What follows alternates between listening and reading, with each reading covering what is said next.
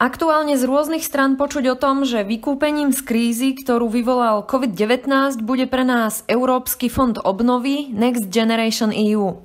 Analytik Martin Vlachinský však upozorňuje, že zo sebou nesie priveľkú daň. Bude to za cenu nových daní, za cenu nových dlhov a zároveň to bude precedens, ktorý hovorí o tom, že kedykoľvek v budúcnosti príde ďalšia kríza, tak tá reakcia bude opäť podobná a dočkame sa možno ďalšieho GU2, GU3 a tá ekonomická a rozhodovacia moc sa bude stále viac presúvať do Európskeho centrálu do Bruselu. Vítajte pri počúvaní Ines na dnes. Moje meno je Ina Sečíková a toto ekonomický podcast, ktorý dnes potrebujete počuť. Počúvate podcast. Počúvate podcast Ines na dnes. Nedávno si vydal novú publikáciu, ktorej názov hovorí Prečo sa báť balíka obnovy. Ide o známy európsky súbor opatrení Next Generation EU, ktorý na Slovensko, ako aj do všetkých ostatných krajín Európskej únie, nasmeruje 750 miliárd. Ale opačne ako tvoja výzva mať z balíka obavy, e, zo všetkých stran počujeme, že tieto veľké zdroje sú pre krajinu skvelou príležitosťou. Na úvod ťa teda poprosím o také stručné vysvetlenie, prečo hovoríš, že tohto balíka sa treba báť. Treba sa bať všetkého, čo nám v čase krízy, recesie a ekonomického spomalenia slubuje ekonomické zázraky. Doteraz sme nemali peniaze na také reformy, onaké reformy, na infraštruktúru a zrazu počas krízy tieto zdroje sa zázračne objavili. No zázraky neexistujú a nejaký problém tam musí byť. Áno, úplne jednoduchá vec mi napadá, že tie peniaze od nikiaľ musia prísť, no a keďže je recesia, tak je to zjavne problém.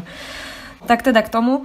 Tie miliardy majú slúžiť ako fond obnovy a má tak ísť o reakciu na dôsledky koronakrízy. Kým sa ale dostaneme ku tým konkrétnym rizikám, zhrňme si, čo vlastne tento balík e, Next Generation EU je. Ten finančný objem už som naznačila, tak približme si, na aké časti je rozdelený. On pozostáva z posilnenia existujúcich balíkov alebo existujúcich programov, ako je Horizont, boli vymyslené nové programy, ale tou najpodstatnejšou časťou je tzv. Recovery and Resilience Fund, RRF, alebo Fond obnovy a ďalej už si nepamätám ten slovenský názov, e, ktorý tvorí jeho najvýznamnejšiu časť a to je vlastne to, čo sa tu najviac diskutuje, to je to, kde Slovensko a každá členská krajina musí pripraviť e, nejaký plán obnovy a ten musí byť schválený a následne sa splnia nejaké ciele a tak ďalej a tak ďalej. Áno, ten už sme zaslali Európskej komisii, ale ak teda vychádzame z toho, že hlavným dôvodom vytvorenia tohto fondu je pomôcť krajinám reagovať na COVID krízu, je potom dosť prekvapivé, že tá okamžitá reakcia na pandémiu, jeden z tých programov, ktorý má názov React EU, predstavuje len veľmi malú časť z neho a to je 47,5 miliardy eur. Ako si uh, hovoril, 90% zdrojov obsahuje ten Recovery and Resilience Fund, to RRF, Fond obnovy a odolnosti, ktorý sa má týkať okrem zdravotníctva aj veľkého počtu ďalších oblastí.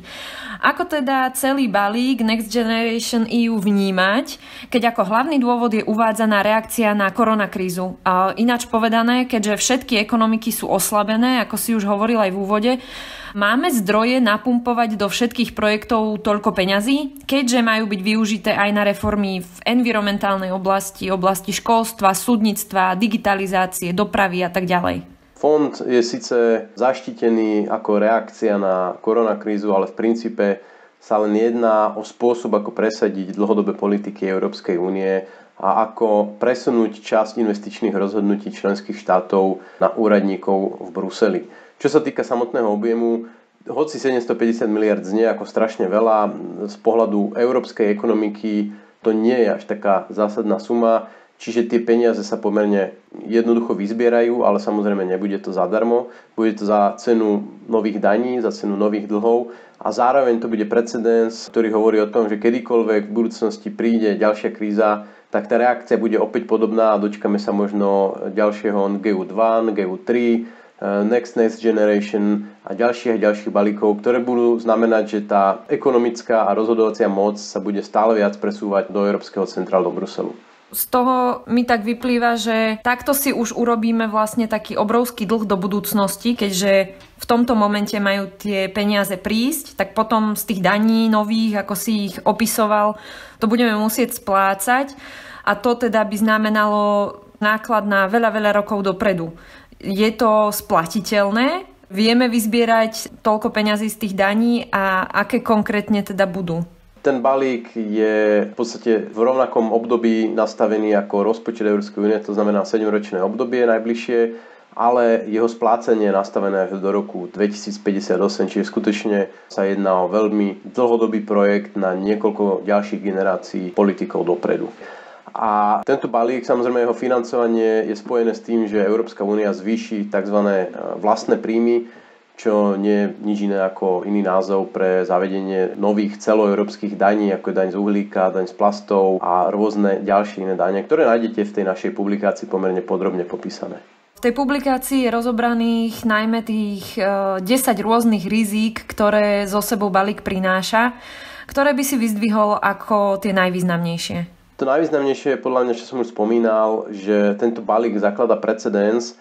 Doteraz, pokiaľ sa napríklad zvyšoval rozpočet Európskej únie, tak to obsahovalo strašne zdlhavé jednania a bola to veľmi, veľmi opatrná činnosť. Teraz ako keby praskla priehrada a vidíme, že zrazu tu máme dlhopisy Európskej únie, nové dane Európskej únie, radikálne zvýšený rozpočet a niektorí vrátane mňa to vnímajú tak, že je to príval nových kompetencií smerom do rúk európskych úradníkov, ktorí sa už tak ľahko nepodarí zastaviť a že v blízkej budúcnosti Európska komisia bude rozhodovať o tom, do čoho investovať, ako investovať, čo tu máme budovať a v podstate veľká časť hospodárskej politiky sa postupne prenesie na Európsku komisiu.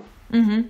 Zjavne je tu teda veľa tých problematických efektov, ktoré takýto prístup v reakcii na krízu formou veľkého balíka peňazí má. Ak je tu tých rizik priveľa a súčasne ide o naozaj veľké náklady a nákladný spôsob, aká je tvoja predstava efektívnejšieho prístupu?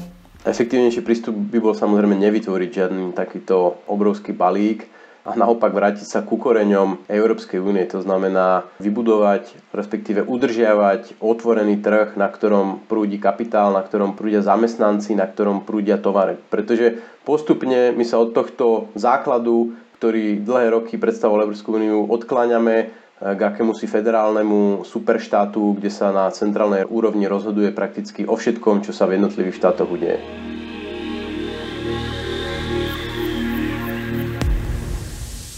Počúvali ste podcast Ines na dnes. Všetky ďalšie diely nájdete v podcastových aplikáciách a na YouTube kanáli Ines.